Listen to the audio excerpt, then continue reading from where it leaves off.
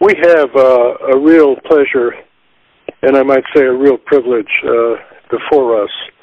One of the best military and naval historians of our generation, and perhaps the best diplomatic uh, historian of World War II, Andrew Roberts, is going to make a presentation on those elements of the Second World War and uh, you will be fascinated by what he has uh, to say.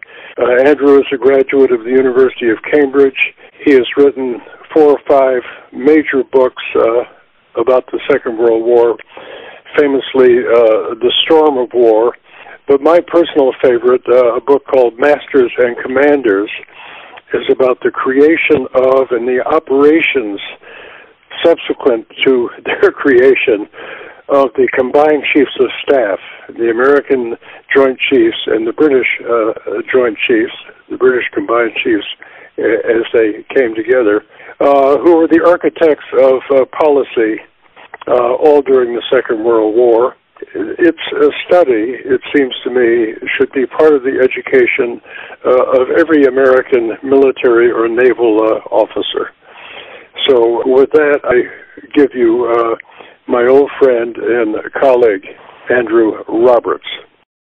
Ladies and gentlemen, um, it's a great honor to be invited to address you, especially, of course, at the time of the um, Remembrance Month of, uh, of November. We've had here in the United Kingdom Her Majesty the Queen attend a uh, service solely uh, on her own at Westminster Abbey due to COVID to commemorate the 100th anniversary of the first of the uh, unknown soldier, the, the day on which the unknown soldier was uh, was buried at Westminster Abbey, and uh, of course, nonetheless, a, a, large plethora of other um, meetings. And uh, so, to be able to address you um, now is a, a, an added uh, an added bonus for me. I'd also like to thank Cy Bunting, a great friend of many years. Um, it's a little nerve wracking, actually, to be talking about this subject, which is about uh, Allied cooperation and the creation of grand strategy between Pearl Harbor and, um, and victory in Japan. Um, because, of course, Cy is writing the biography of uh, General George Marshall, who's an absolutely key figure in uh, all of that. And so uh, I hope he's going to be agreeing with what I say. I'd like to start, if I may, with the um, speech that was given by Field Marshal Sir Alan Brooke, later Lord Alanbrooke, the Chief of the Imperial General Staff, so the man in charge of the British Army during the Second World War. He uh, took over in that position in December 1941, and he became chief of the um, of the British Chiefs of Staff, to chairman of it in the March of 1942. And so he was a key figure um, in all of this, as uh, you'll, um, as I'll come to uh, to explain later. But he said this in a speech after the war, and um, of course it's referring to British policy, but I think it has an interesting series of overtones for um, for the whole alliance. He said this. In 1942, before the Battle of El Alamein, Rommel was at the gates of Cairo. German forces were through the Caucasus, Japanese forces were threatening Australia and India, the Mediterranean was closed, and Persia had been entirely depleted of forces saved um, for threatened points. The whole of the oil reserves in the Middle East, in Iraq and Persia, were at Hitler's mercy. Excuse me. This loss would have been irreparable as the shortage of tankers due to submarine action made it impossible to supply our wants from the Western Hemisphere, and the Burma and Dutch East, oil, uh, East India oil were lost to Japan. We should have been faced with crippling paralysis on land, at sea, and in the air throughout the Middle East and India. The road would have been open for Germany and Japan to join hands with all the dire results that would have ensued. It's well that we should avoid unwarranted complacency and remind ourselves that if we did win the last war, it was not without moments of extreme peril. And so, what I'd like to talk to you about really is how we got from that uh, position to the position only two and a half years later when Germany was at, um, uh, was on their knees. Uh, the Nazis were about to uh, surrender, and uh, from the from the uh, point that he was talking about, which was, as I say, the autumn of the fall of 1942. Um, and uh, and uh, and the whole world, um, whole Allied forces were going to be able to concentrate solely on Japan. And I think one of the key um, moments, really, one of the key uh, decisions was that taken by the Roosevelt administration earlier, before America entered the war, um, which was, of course, the great Germany First decision. Um, even though you, uh, Americans, had been attacked uh, at Pearl Harbor in the Pacific, you had um, your your press and your public and your Congress were quite understandably demanding um, that that uh, that monstrous and uh, completely um, well, in FDR's words, infamous uh, attack should be punished. A perfectly understandable and natural human response. Actually, what the Roosevelt administration did um, in my view, in the greatest act of statesmanship of the 20th century, was to concentrate instead on Germany, to direct some 70% of all American resources to the uh, crushing of uh, Nazi Germany, even though you had not been attacked by Nazi Germany in any way and had been, of course, by the Japanese on the other side of your continent. Um, it was an extraordinary decision in many ways, uh, politically a counterintuitive decision, but the right decision on the Clausewitzian, the classic Clausewitzian um, precept that you uh, take on your uh, strongest enemy first. And uh, only once uh, the Nazis had been defeated um, did you uh, did you then move on to to force Japan to surrender uh, in the September of 1945. It was a it was a gigantic um, decision to have made and a great one. And um, the person who I mentioned earlier, General George C. Marshall, was uh, was key in this. Um, he became U.S. Army Chief of Staff. This uh, this courtly Pennsylvanian uh, in on the first of September 1939. Um, in one of those extraordinary coincidences of history of the of which there are so many that they can't really any longer be considered coincidences. Uh, we see that he became US Army Chief of Staff on the same day that Adolf Hitler unleashed his blitzkrieg on Poland.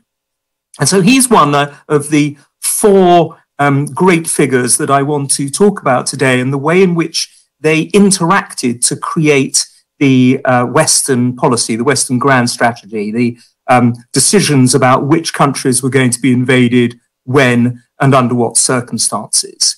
Um, as well as being a courtly Pennsylvanian um, uh, who had studied, of course, at um, the VMI, um, he was also uh, what Churchill called the Carnot of victory, the organizer of victory, after Lazare Carnot, uh, Napoleon's great uh, general who had, uh, who had organized uh, so many of the Napoleonic War victories and indeed the Revolutionary War victories before that. Um, he had the kind of brain that any CEO would love to uh, have today, General Marshall. He was able to turn an American army uh, that was only the 16th largest army in the world when the Second World War broke out in September 1939 um, of uh, only 200,000. You, you had an army the same size as Romania or Portugal. And he turned that into a fully uh, orchestrated and uh, equipped and uniformed and trained armed force, um, if you uh, take into account also the Navy and the Air Force, of some 16 million American uh, men and women in uniform by September 1945. That is an 80 um, times the size of the army uh, at the beginning of the war, an extraordinary achievement, and one that um, must be uh, credited amongst many other people, but nonetheless primarily to uh, General George C. Marshall.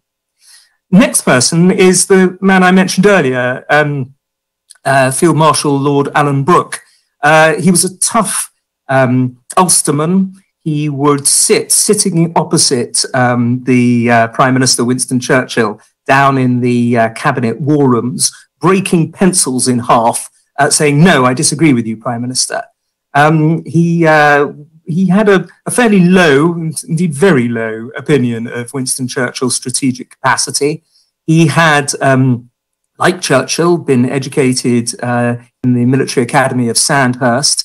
Uh, his his brother had fought in the Gallipoli campaign in 1915, which is, I think, one of the reasons that he had such a low um, view of Churchill's capacities.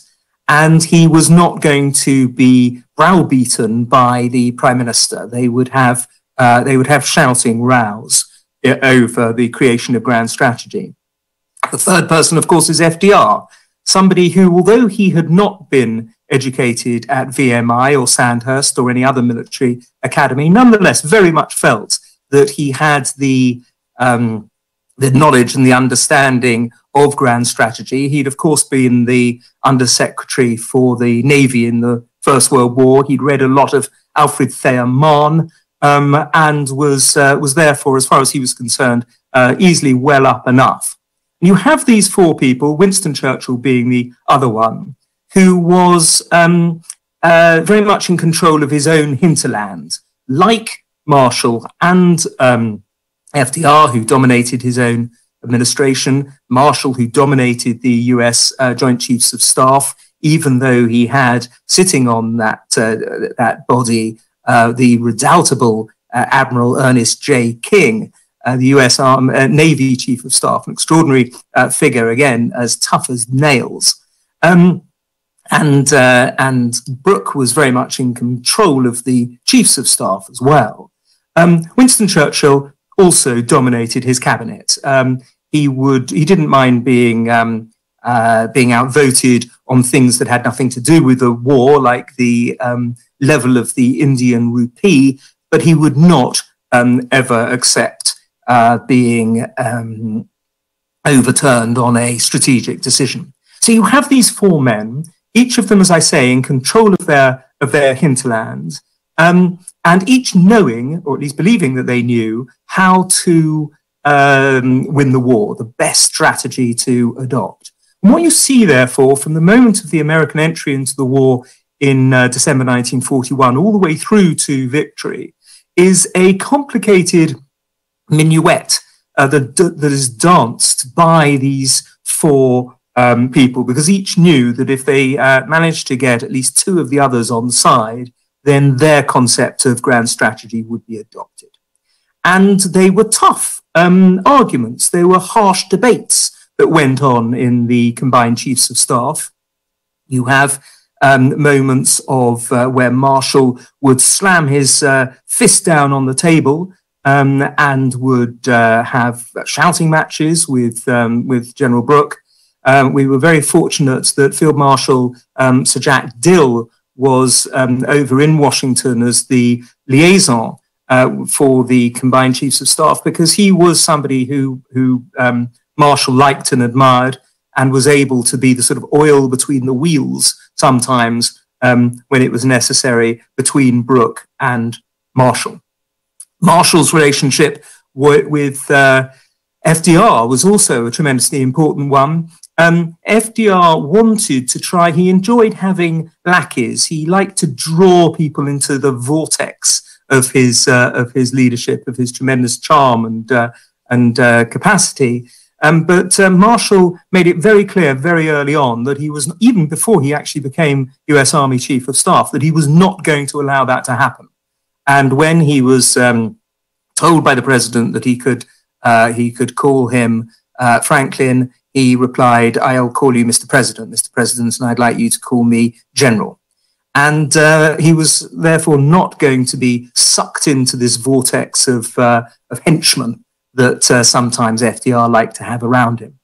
The relationship, as I mentioned, between um, between Churchill and uh, Brooke was a was a um, um, no holds barred one. We see that from Brooke's quite extraordinary a daily diary that he uh, that he kept, which I do recommend. I'm sure that most of you will have already looked at it or read it. It's uh, it's an extraordinary document of uh, the way in which a um, a top soldier has to deal with a politician who is um, convinced that he knows more about fighting than anybody else. And Winston Churchill, of course, had fought on five um, in five campaigns on four continents prior to the Second World War, and uh, and very much felt that he he'd been in the uh, British Army on and off years, and he very much felt that he could uh, could uh, work out which admirals and generals were best, and um, which ones were there to be uh, hard and fired and supported and uh, and undermined.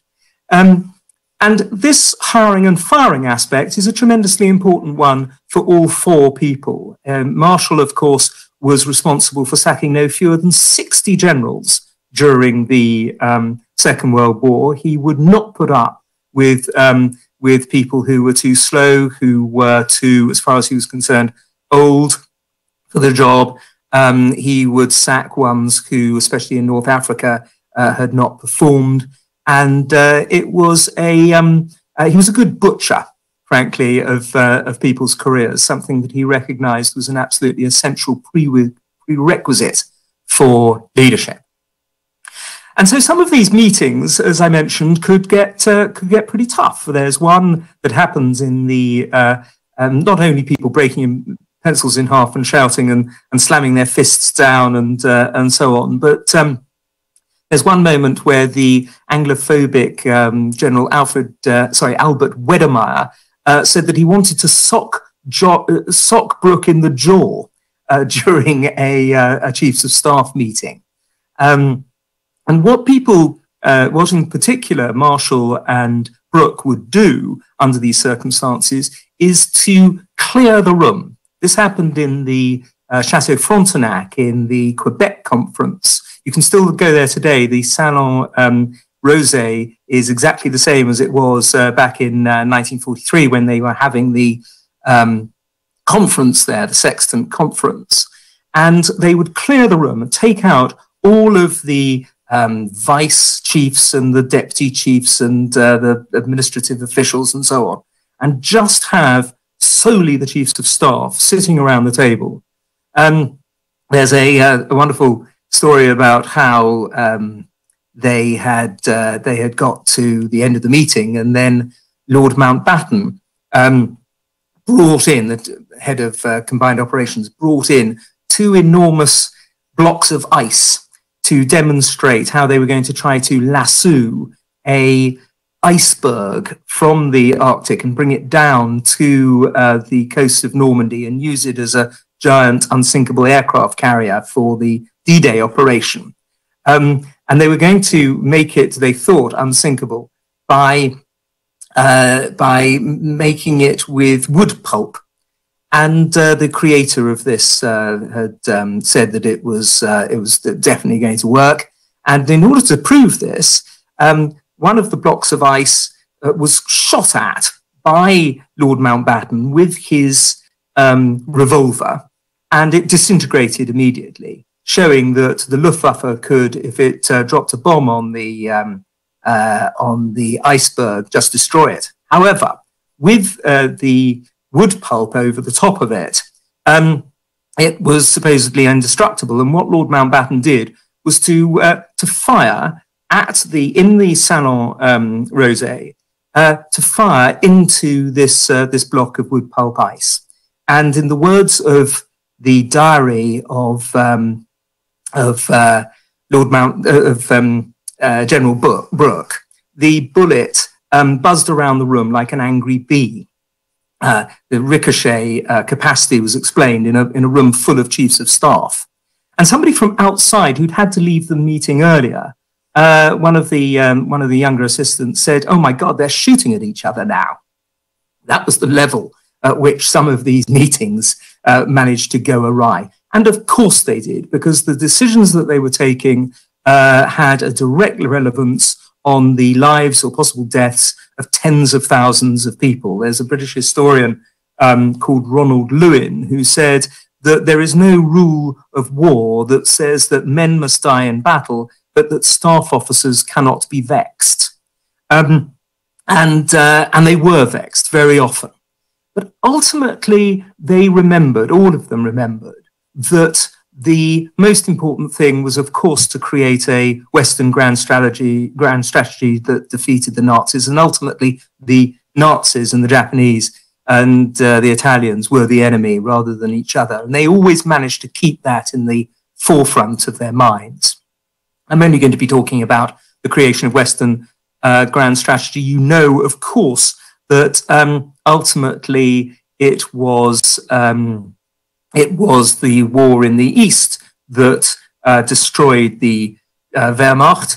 Um, one of the most important statistics of the Second World War for me is that for every five Germans killed in combat in um, in the Second World War, German soldiers, I mean, uh, rather than being bombed in the combined bomber offensive, but I mean uh, actually on the battlefield, for every five of them, four died on the Eastern Front. So what um, you, the Americans, and we, the British, and the Canadians, and so on, were were doing was killing the fifth German. Um, the essential thing was to make sure that uh, that Stalin stayed in the war and that the Russians uh, killed the other four. When it came to the um, to the use of charisma, which was uh, which was used by FDR and Winston Churchill a great deal in uh, in calming down these circumstances. Great use of humour by uh, by Churchill.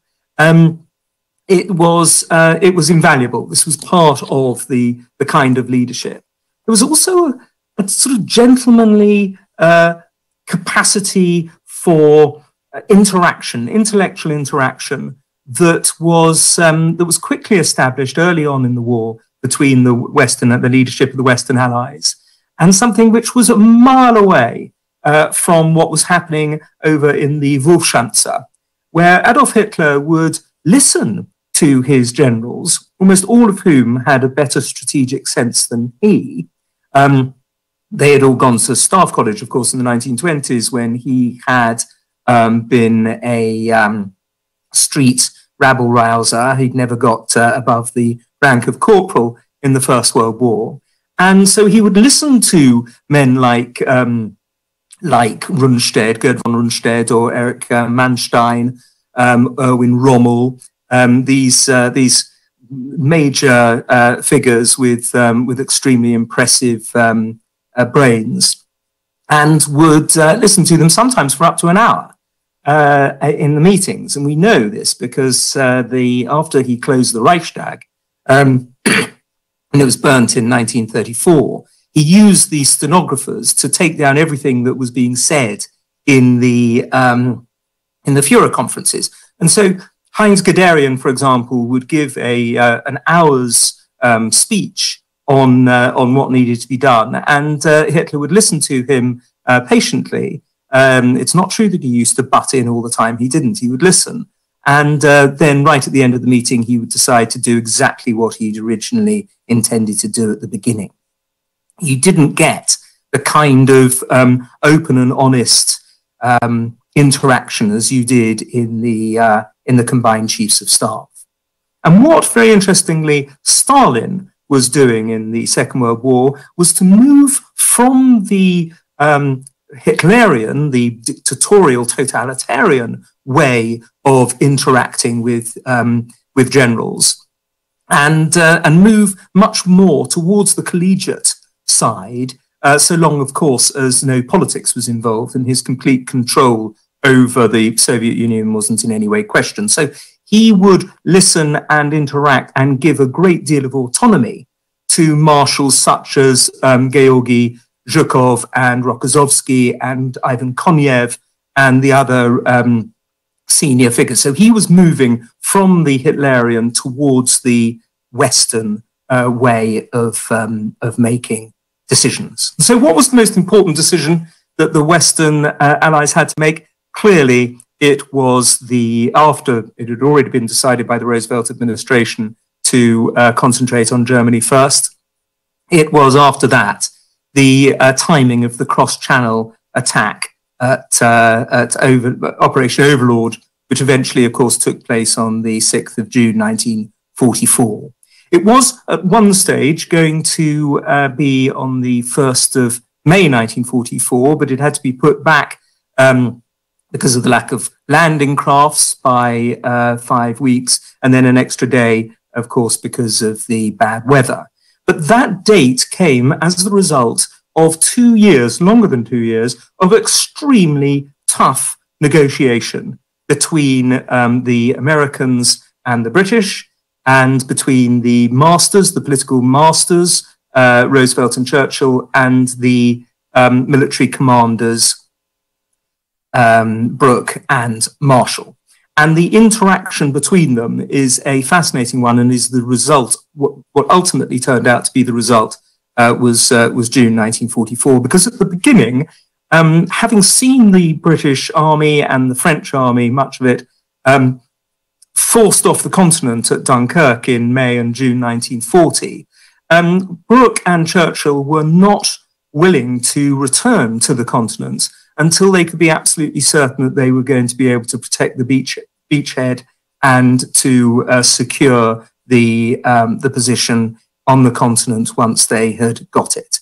They weren't going to go back until, therefore, um, air superiority was established, which didn't happen until the April of 1944, once the P-51 Mustang had uh, cleared the Messerschmitts from the skies over Normandy. Um, the other great delaying um, problem was that in January 1942, the Germans added a fourth rotor to the machine, the Enigma machine that created the uh, ultra decrypts when the boffins and the, the professors at Bletchley Park uh, managed to break into the into the code.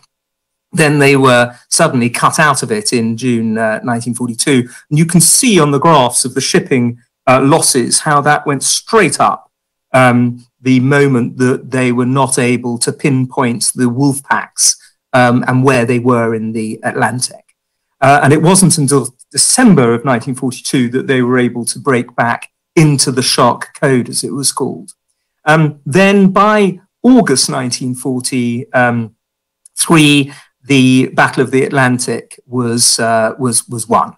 And that meant that the amount of shipping that could cross the Atlantic and be used um, in the invasion was going to be at the sufficient level because it was an extraordinary amount of equipment that was needed. A fully armored um, division, a, a proper um, tank division, uh, needed 1,600 tons of, um, of supplies per day, be it ammunition or, or fuel or, um, or uh, different kinds of supplies, food and so on. 1,600 per day. So imagine how much needed to be brought over, most of it from America and Canada, uh, before the uh, cross channel attack could take place. Um, there are other things like the invention of the Pluto, the pipeline under the ocean, which brought fuel from uh, from the Isle of Wight in southern England over to Normandy.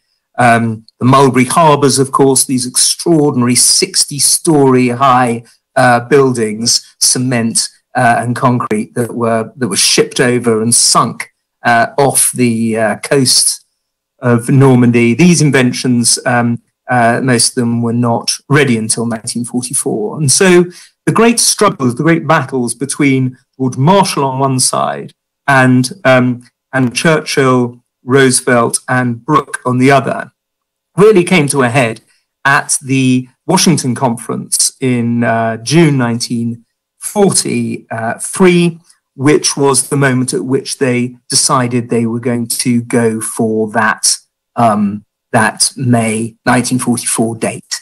Uh, by that stage, the um, the key figure in the uh, in the decision making process, Franklin Roosevelt, had changed sides, and it was he, would understood time wise that uh, that it was it was time to uh, to cross the Channel the following May. Um, which had to, of course, be put back until June. And this was a um, uh, an extraordinary decision and and a brilliant one because it was timed uh, superbly. Of course, D-Day could have gone wrong, um, but by that time, by June 1944, um, the Allies were ready to undertake that extraordinary crossing um, much earlier, and, and, there's a very good chance that it might have not have succeeded. And had it failed, it would have pushed back the uh, victory in the West, uh, possibly, well, certainly one year, uh, maybe longer. And that, of course, would have been absolutely catastrophic um, because on the Eastern Front in July 1944, the Red Army killed, wounded, or captured no fewer than 510,000 Germans. And uh, there would have been nothing to have stopped the Red Army from, uh, from crossing, sweeping across Germany. Uh, they could have got to Paris.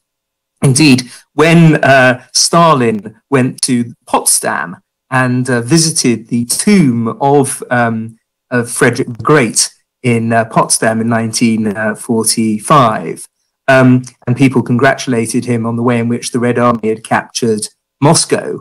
Um, he turned to one of his marshals and shrugged and said, That's nothing. Tsar Alexander I got to Paris. So ultimately, um, you have this, uh, this great debate, these great uh, struggles, um, but it is FDR's movement from the camp of Churchill and Brooke over to um, Marshall that decides that the uh, attack, the cross-channel attack, is going to take place, and of course, it takes place the very day after Rome falls um, in the uh, in the Italian campaign. Um, the, reason that the British could no longer um, put up a um, an opposition to this uh, to this date of May was partly, uh, and this is a very hard fought historical um, debate, but uh, partly uh, because by that stage they too recognized that it had to happen uh, for these political reasons that I mentioned, also um, because they had got um, the uh, the victory over the um, Germans on in the sea and in the air, but also because the sheer productive capacity of the United States meant that ultimately the decision uh, was going to be an American one. It had to be led by an American. Brooke himself wanted to lead it. Uh, so did Marshall at one point, but the decision was taken that it had to be Eisenhower because uh, FDR told Marshall that he couldn't do without him in Washington. Um, and he uh, and Marshall um, uh, accepted that, even though he could have uh, have um, rebelled against it if he had wanted to. He was too much, as I say, of a, uh, of a giant and a gentleman to to do that. Um, and the other great statistic, it strikes me, of the Second World War is the productive capacity of the United States. Because in the calendar year 1944, when the Germans produced 40,000 warplanes, the British 20,000, um, uh, the, um, uh, the, the whole of um, the um, productive capacity of America produced no fewer than 98,000 warplanes. It was almost as much as the whole of the rest of the world uh, put together. And, uh, and this shows uh, quite what, um, what America was able to insist upon when it came to the timing of uh, D-Day. And it was very fortunate, as I say, that, uh, that they did because of the um, because the, the, the, timing was right. Um, one thing that you can be uh, my, my, my Don at Cambridge, my, uh, my professor, Norman Stone, uh, told me that there's nothing inevitable. One should, as an historian, never say anything is inevitable in history because nothing is inevitable in history except for German counterattack. Um, that is always inevitable. And you see that, of course, uh, tremendously after, just as you'd seen it before D-Day at uh, Anzio and uh, Salerno and uh, any number of times in North Africa, of course, um, you uh, and indeed on the Eastern Front constantly, um, you see that in the West after uh, after D-Day, primarily, of course, with that extraordinary attack in the Ardennes um, that the Americans call the Battle of the Bulge.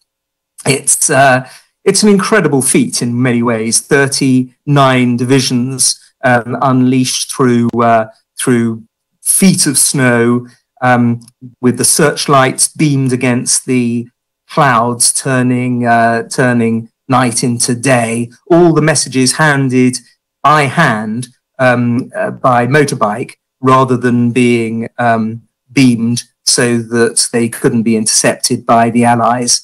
Uh, an extraordinary counterattack, but one that uh, that the Americans and to a lesser degree the British also were able to um, to contain. So it shows the, um, the, this extraordinary capacity for the Germans to counterattack, which always has to be borne in mind when you're undertaking something as complicated as an amphibious assault across 25 miles of uh, seawater, like uh, like D-Day was.